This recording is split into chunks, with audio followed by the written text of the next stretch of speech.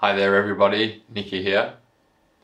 As of yesterday, I uh, just completed a 14 day juice cleanse. And what I thought I'd do is just record a short video, uh, just sharing with anybody who's interested certain reflections and experiences that I made and had during the cleanse. And I hope to um, actually focus my discussion on the healing and spiritual growth aspect that a juice cleanse may be able to assist us with. Um, so that's what I'm going to be focusing on. And when I am talking about a healing and spiritual growth uh, focus, I'm going to be looking at um, or discussing uh, how it can happen on a permanent basis. So, not just a temporary thing that we observe during a cleanse itself or for a few weeks afterwards. Um, kind of want to be talking more about it from a permanent uh, perspective because I feel that's probably one of the main reasons why people do a juice cleanse in the first place. They want to see some kind of change or permanent change, you know, in, in, in themselves. So I'm going to be focusing on that. If you are um, wanting to find out more about what a juice cleanse is or various juice cleanse recipes, this video would not be suit suitable for your intention. So I would recommend that you go elsewhere to find out more information about that because that's not what I'm going to be discussing. If you are unsure of where to go, um, I do have a very good friend of mine. Uh, her name is Courtney Pool, and she actually works off donation by offering a uh, juice uh, cleansing coaching service to uh, whoever's interested in following the juice cleanse and receiving uh, advice about going through that process. And Courtney, as well, um, she um, speaks about things that I also believe to be true. So that is the reason why I am vouching for, for Courtney. So if you would like to uh, find out more information um, about all of that stuff, I'll put a link in the description box below the video to Courtney's website. Also in this video, I'm going to be making reference to a number of principles and also um, laws of God that Jesus and Mary Magdalene teach. I've been following the teachings of divine truth, which they both teach for almost four years as well. And so I'm going to be making references to a number of uh, those aspects during this talk. If you um, you know, don't know anything about Jesus and Mary and you're like, what? Um, then I'll put a link as well to their website and also their YouTube channel if you'd like to find out more information there as well. So very quickly, uh, just to give all of you an idea and um, into the context of the video and where I'm coming from, I've been a vegan for three and a half years now. And the I actually initially uh, did a juice cleanse um, maybe about eight or nine months ago for five days. So I've got experience with doing uh, a juice cleanse and uh, this recent idea to do a juice cleanse, um, a 14 day one, uh, came about uh, predominantly from my girlfriend. She uh, was interested in doing one, and initially I wasn't too keen, um, but then I thought, you know, it is healthy, it's good for you know your body, and um, it would be interesting. You know, I, I would be uh, intrigued to find out more uh, and draw more conclusions about the process of uh, doing a juice cleanse and how that can maybe help us uh, heal. So uh, that's why I went along as well and uh, chose to do it too. So going into the juice cleanse itself, I had uh, two primary intentions really. The first intention was going into the juice cleanse in the hope that it may uncover or unlock some emotions that I have stored within my own soul, in my heart, um, so I was kind of going in in the hope that you know certain things would happen inside of my heart where I would then be able to experience the, the emotion, whatever it may be, um, in the hope to kind of release that emotion from my soul and to and to heal. So that was the primary intention. And the second one as well, if I'm being honest, it was to just see what may occur in my physical body on a physical level during the actual juice cleanse itself. So they were the two primary intentions. And I guess the first um, the first question is, well, what was the cleanse like? How did it go? How did it make me feel? And um, if I'm being honest with you, with you all, um, I was kind of expecting the juice cleanse to do more for me physically than I thought it would, than I thought it actually did, um, ultimately. Um, you know, I've read, I've watched a lot of videos on YouTube with people talking about how much uh, the juice cleanse uh, did things for them physically and, um, you know, gave them more energy and, you know, all of these tons of different uh, things that other people have found. Um, however, for me, I was kind of a bit like, oh, okay, not really too much has changed for me. You know, like a lot of people say that your skin gets a lot better and it glows more and all of this stuff. Where, whereas I didn't find that um, in the 14 days that I did one. Um, yes, a lot of people say that you can lose weight and it's an effective way of losing weight and I agree. Um, I did find that to be the case. I lost about seven or eight kilograms during the 14 days. Um, so, you know, if people go into a juice cleanse with the intention to lose weight, then it, you know, you probably will lose um, weight um, just because of the nature of it itself. Um, but as I said, my intention wasn't really to lose weight or to um, look differently physically. It was more to um, have the intention to get into some um, unhealed emotional issues that I have in my heart. But yeah, in, in general, um, during the cleanse itself, I didn't feel particularly full of energy or not full of energy. I felt the same really. Um, you know, my body did feel uh, lighter um, as the cleanse went on. And that was because I was losing a lot, quite a bit of weight. Um, and one thing that I did find was um, I did feel a bit clearer inside my own mind um, and my own thought process and things like that. It was, it was a bit clearer. And um, also, yes, my body did release some uh, old uh, old waste that was stored in it over I don't know how many years or months. Um, you know, that did happen. Um, but yeah, I mean, going into the cleanse, I would have considered myself being just a normal weight, uh, pretty healthy, had a good diet. You know, I was I'm already vegan, so I had I've always had a lot of fruit and veg and salads and I've always had a pretty good diet really.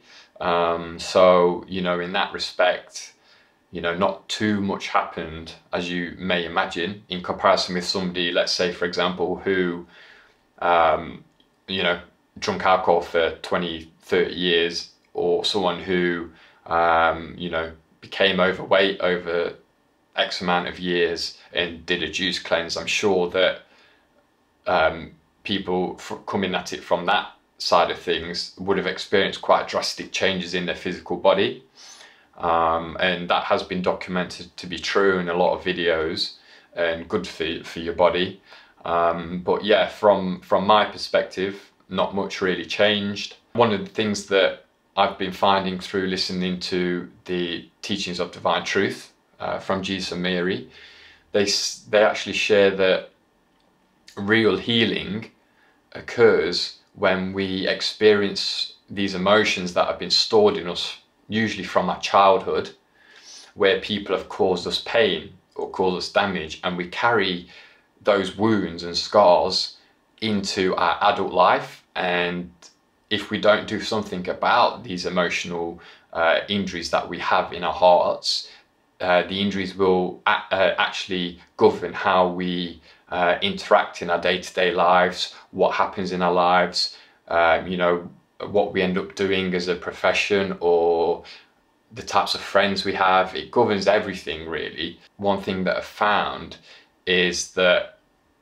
with uh, doing the juice cleanse, I've been realizing that the times where I have been feeling happier is straight after I released some kind of emotion.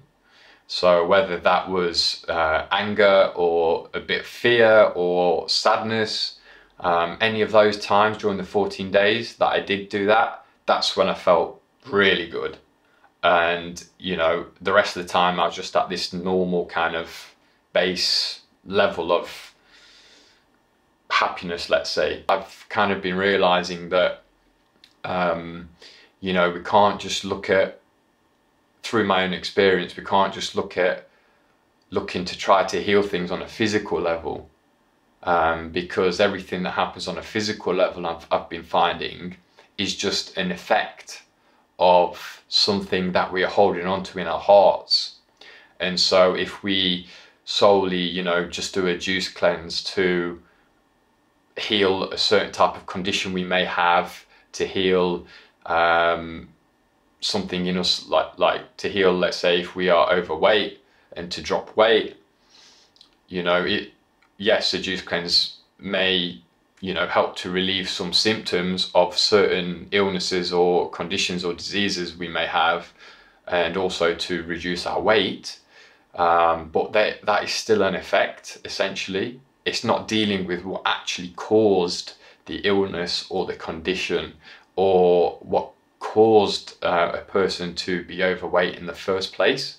Now, for someone who's overweight, um, you know, people may think that, oh, the cause is just because they eat too much and they're lazy, you know. Um, however, what I'm saying is there must be a reason why somebody would choose to um, eat or overeat um, in the first place. You know, it's not just a case of, oh, it's because they eat too much and whatever. Um, it goes more deeper than that and it goes into actually some emotional reasons in a very core of our hearts which causes that to happen. Um, so, you know, that's what I've been kind of realizing that there is this relationship between cause and effect. Through my experience, I've been finding that over the last couple of years, releasing emotion that I've had in me from my childhood has increased my happiness and it has made me feel better inside of myself.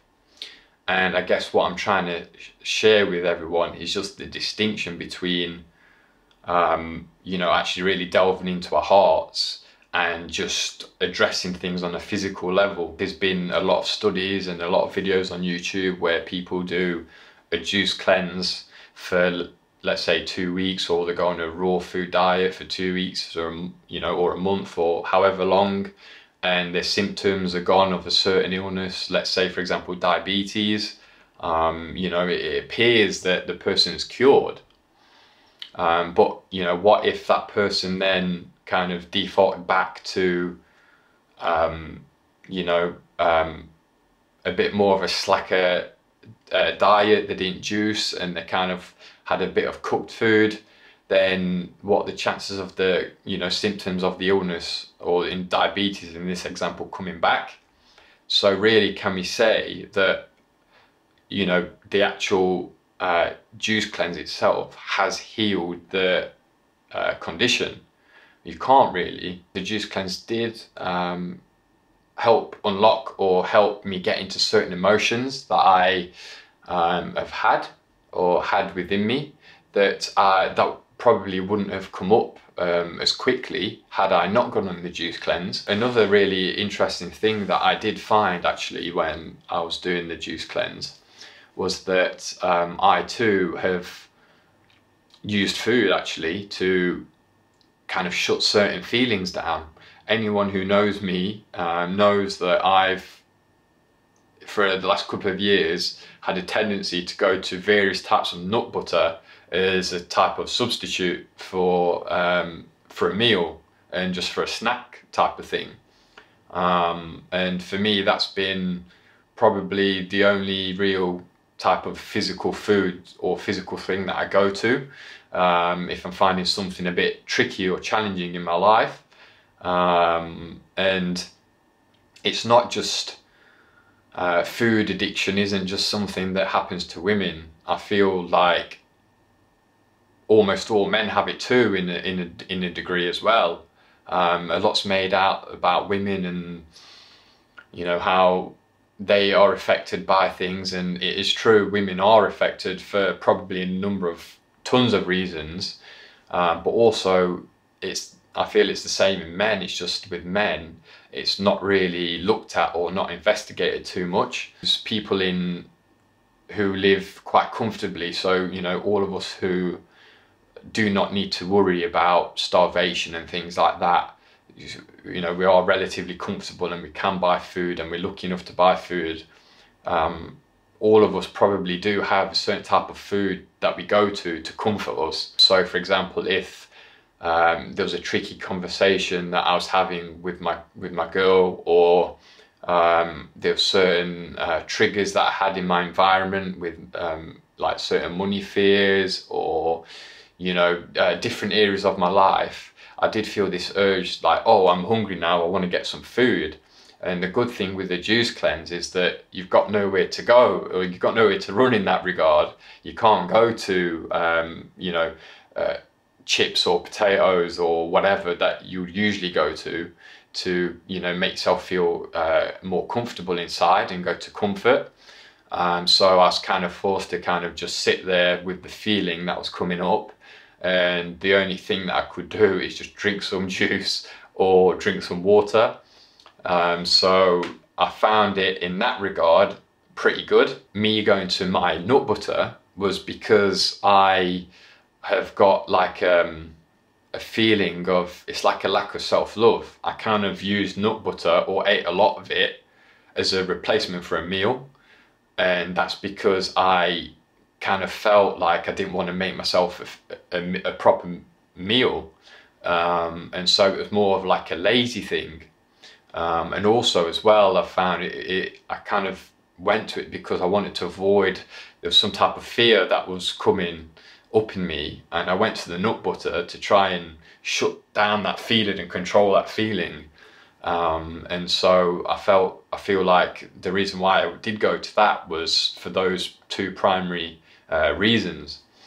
So, um, so yeah, it's just, it was really interesting to observe that. We all have a responsibility to kind of notice these things that we all do in our day-to-day -day lives and notice and think, oh, why did I do that? Why did I, you know, just stuff myself with tons of crisps or just had loads of like potatoes or whatever? Like, why did I do that? Um, what am I trying to numb myself out of? And, um, and yeah, I think it's a really like that's the key to actual permanent uh, healing and spiritual growth is trying to get into these emotions that we have that we all have in us whether we know that we have them or not that affects all of our life but also as well because you know I have been pretty healthy um, for a couple of years I kind of started realizing during the cleanse that I can just keep going and going and trying to get more healthy and healthier just on a physical level. But my actual true happiness in my heart uh, probably would not change too significantly even if I did go just hardcore on juices for the rest of my life or um, you know did more exercise I kind of feel like there's probably a, a limit really to where you can go uh, in that regard. The times where I did feel some emotion and release some emotion, I felt instantly more connected to myself and instantly more connected to my own emotions. And I did feel better. I'm still feeling unhappy in a lot of areas of my life, um, in my heart, uh, that I've not yet healed. And I'm realizing that no matter how hard I go with my diet and all these physical things, not much is really going to change. And I have been realizing that there is a relationship between uh, emotions we store and our happiness, or what then manifest, like kind of manifests in our uh, environment in our lives. And I don't really like using the word manifest because it kind of feels a bit weird. um, but um, I couldn't think of a better word. Um, and one thing that Jesus and Mary uh, teach is that uh, God has uh, tons of laws. Uh, God's created the universe um, with tons of laws and there's a lot of principles behind the laws um, that God's created. And one of these laws is the law of cause and effect. Um, what Jesus uh, speaks about, and, and Mary too, they both speak that um, every source of um, illness, disease, um, condition, uh, unhappiness, pain, suffering, it is all related to an emotional cause that we have in our own hearts that came from usually our childhood, uh, usually between the ages of zero to seven years old. And the reason why they say this is because while, when we were a child in that age, we are just like sponges and we just absorb everything that comes at us from our environment from our primary caregivers so parents or if we didn't have parents grandparents or uh, you know primary school teachers older siblings um, we basically uh, received a lot of things emotionally from them and we learned certain things that we thought was love from our childhood and those primary teachers that we had in our lives. And um, we grow with these errors um, and grow into an adult with the same errors and the same um, causes within our hearts that may manifest later in life to certain illnesses and diseases. And um, and Mary shared that if we can drill down emotionally to the cause of um, why we feel in certain ways, then our physical body will instantly show and reflect the healing and reflect the change. And so we can then keep being happy in our lives. Our physical bodies will uh, reflect that to us. And, um, and that's actually the actual true way to heal. And it's a permanent way. It's not just a temporary way. You know, um, people do a juice cleanse and they find they have, let's say, for example, really good skin during the juice cleanse and maybe a couple of weeks after that. But then they find that, you know, if they don't keep on, on the juice cleanse, then the skin starts reverting back to how it was before. And, you know, really, can we say that that's an actual real way to heal um, something within ourselves? We can't really. Um, and that's the problem with just looking at things on a physical level. Also, one other thing that did come up for me uh, during the course of the juice cleanse was that um, I'll just quickly uh, mention the scenario and then I'll explain it a bit. Um, so me and my girl, we decided to do this juice cleanse together, that we would um, do it halves and halves. So, you know, half, you know, one of us would do the, the actual um, preparing of the fruit and veg and doing the actual juicing process itself half the half of the two weeks and you know the other person will do it for the other half to keep it fair. Um, just because anyone who has done a juice cleanse uh, you probably know that it's not a real quick thing um, particularly if you have a slow uh, masticating type juicer which we have. It usually is a couple it's usually a couple of hours uh, process to prepare the fruit and veg to put it through the juicer and then get you know get the juice afterwards particularly if you're doing it for not just yourself but somebody else too. Um, and so we had that idea in mind and we agreed on that. And uh, three days in to the juice cleanse I got this idea that I thought was really clever at the time. And I thought oh if I do a couple of days starting today and tomorrow and get that in the bank, then she can, my girl can then do the the juicing after that. You know, like the next two days, and I've got a bit of time off. What actually happened after the two days where I um, did that? Uh, on the third day, when I had it in my mind that my girl was going to then do it for a couple of days, she ended up uh, being completely bedridden um, because of a back problem she had. And so on the third day, um, it was down to me to do more of the juicing. And, you know, she literally couldn't get out of bed. Like, it was no way she was ever going to be able to do it. And so I was like, okay, I'll do it. And I had this feeling like, oh, I felt wounded. Like, oh, I'm being forced to do this, um, to do more juicing. And I felt a bit gutted about it. And um, I remember I was doing the juicing and I was like, what's going on here? Like, what's going on in me? Why do I feel like this when my girlfriend literally can't do it? Um, and I was starting to realize like, oh, this is quite selfish.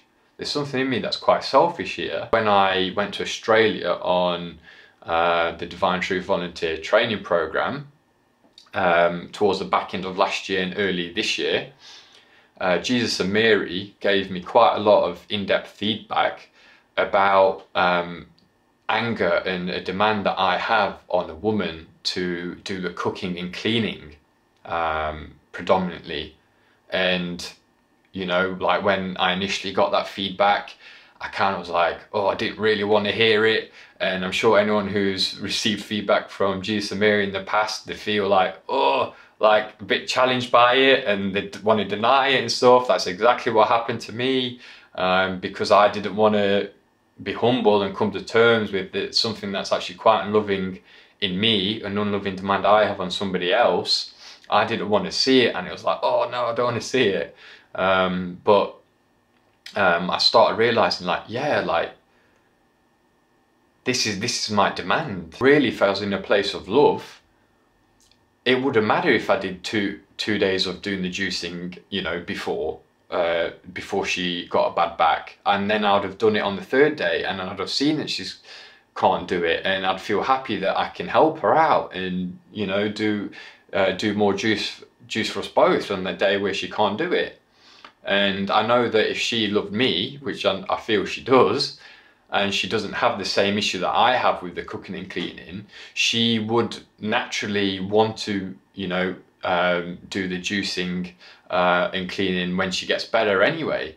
And uh, you know, there was a reason in me why I was kind of counting it all up in my heart and in my mind.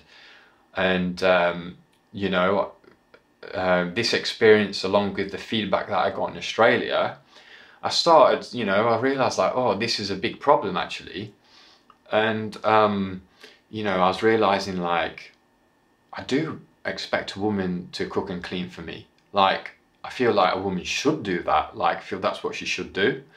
And I realized like the reason why I've got that is because in my childhood, from the age of zero to 18, when I left to go to university, my mum did all the cooking and cleaning and laundry for the whole family.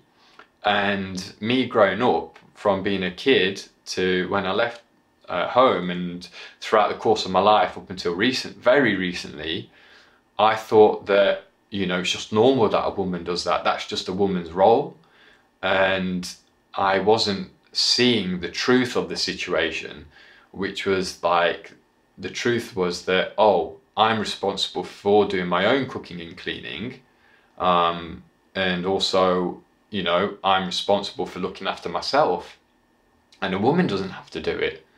And it took me quite a few anger temper tantrums and whacking and screaming um, a, a bed with um, just trying to let go of some of this rage that I had about the whole situation. It's part of me being responsible and I put have put this stuff on my girl because my mum expected, or my mum um, showed me that you know a woman should do all of this stuff for me. And ironically enough, my dad also, uh, when I was growing up, had the same feeling. He had the feeling like, oh, a woman should cook and clean and do the laundry after me. I go out, make the money, and I should have food on the table when I get home.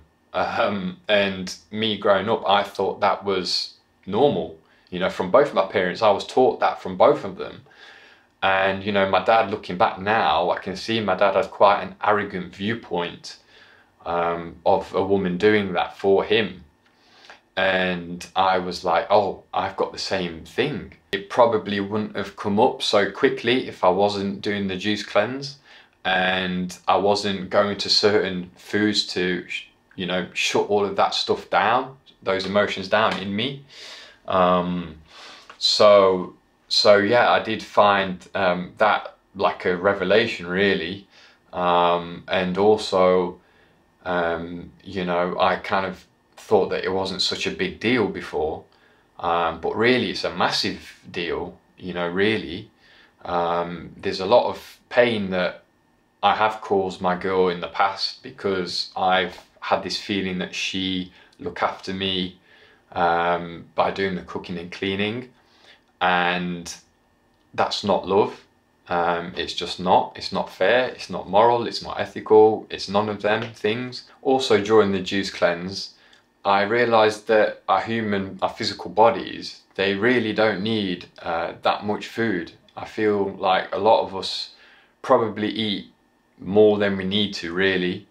Um, I was kind of reflecting and realising that I'd be really, really happy and very happy indeed to uh, just have fruit uh, for a lot of the day or a smoothie or a juice, drink water, and then in the evening time or late afternoon, maybe have a salad or some nuts or whatever.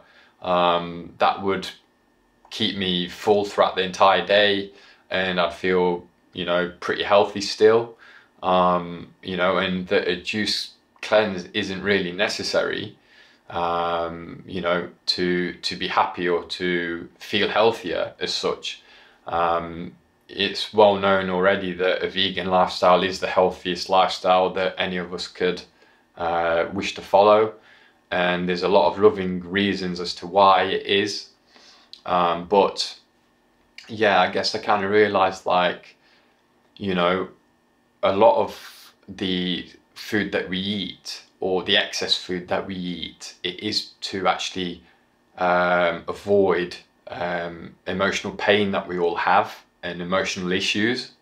And so we either use food to as an angry thing, we go to food to, you know, like stuff ourselves with in an angry way, or we go to food to uh, numb out of our own fear or whatever. Um, but if we kind of just uh, got rid of these emotions within our hearts, we'd then probably start realizing that, yeah, we don't really need much food at all. And the only reason we would go to them, certain types of food, is to um, avoid these issues. Uh, that's something that I wouldn't have necessarily come to the conclusion before I did this 14 day juice cleanse. And uh, I guess it's like all things really, um, you can hear people say tons of things, but it's until you experience it for yourself and go through the experience, then you learn more about whatever it is that they teach. And so people who teach about juice cleansing and about all these things that happen to them, um, you know, you can hear it, but you won't necessarily know the truth or know what happens for yourself unless you do it for yourself. And I guess that's the same approach that I'm trying to do with divine truth and growing my relationship with God in that you know Jesus and Mary can teach all of these principles to us all. And we can see that their lives are getting happier and they're ex- experiencing a lot more happiness. But you know we won't know or experience that unless we try at least to do the same things that they do and try to go through emotional uh, processing and emotional release and long for God's love, uh, which is like the most important thing in the entire process, really. There is a definite uh, reason why um, we see these physical symptoms that occur in our bodies and any illnesses, diseases, uh, conditions, uh, general pain or suffering, there is an emotional cause within our hearts, and I am seeing that to be true now. Uh, whereas before I kind of heard it, but it didn't really fully uh, enter my heart. Whereas now I'm seeing that no, to be happier, truly, like permanently, um, we have to go through these emotions. We can't avoid them. We have to go through them. Overall, the the juice cleanse was effective for me in terms of the goals I had, in the intentions that I had uh, going into the cleanse to see if it would unlock emotions. That definitely happened for both myself and my girl, for sure. Um, and so, in that regard, it was really, uh, really beneficial, and I'm glad I did it. Um, but I do want to say as well that if you're kind of going into a juice cleanse in the hope that it would just solve all your problems and any physical illnesses or you know overweight issues that you have or underweight issues that you have um, it's not a blanket heal thing and we have to kind of question that if we do feel better is it just a temporary thing or are these symptoms just temporarily gone because of the juice cleanse? And might they come back later on? That leads me on to the final thing that I want to share and that is um, like I do gen- genuinely feel that um, you know a lot of people are wanting to find the truth and are wanting to become better people and better um, humans and to look after the environment better like I do genuinely feel that's true and a lot of people um, also do um, you know advocate well recommend a raw uh, vegan lifestyle or a vegan lifestyle or a juicing lifestyle. Uh, they are really good, and I'm not saying that they're not good because they really are. I'm a vegan myself. I've been a vegan for three and a half years. Um, I've benefited greatly uh, from uh, being on a vegan diet, and it is definitely the way to go. But I'm just saying that, you know, for true health and happiness, um, it is the key, I feel, is the emotional release of emotions we have locked up inside of ourselves. Um, so that is, um, you know, something to, I feel, bear in mind um, if you do want to do a juice cleanse. And, uh, and yeah, um, that's just what I like to finish with. So I just like to thank everybody for listening. If you listened the whole way, I'd also like to thank um, more than anything, Jesus and Mary for doing what they're doing with uh, teaching divine truth to the world, whether people listen or not. It's really helped me so much um, in so many areas of my life, and also other people who are uh, acting to uh, share divine truth with the world. Um, for me personally, it's uh, the thing that I'm most passionate about. Uh, I feel all of us on the planet have got such a brilliant opportunity to know the truth, to actually know it from people who have lived it uh, for 2,000 years and, you know, they know this all. And if we are just more open and can listen to what they uh, share to us all, uh, we could make a lot of changes that would benefit not just ourselves but other people and the environment that we live in. Yeah, I'd just like to um, definitely you know recommend people who haven't heard of Divine Truth before to kind of uh, explore it if you've got an interest in it and to see um, to kind of make your own conclusions from there. Um, but yeah, um, I'd just like to leave you all with that final note and uh, say bye. So see you guys.